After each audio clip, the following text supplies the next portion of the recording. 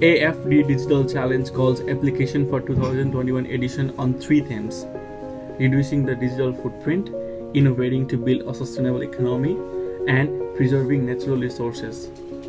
The program has the following awards cash prize up to 20,000 euros, international visibility, and customized support.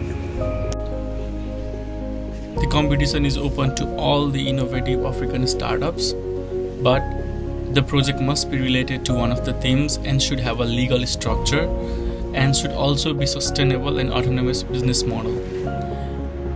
Apply before 26th May 2021. For more information visit www.oyaop.com.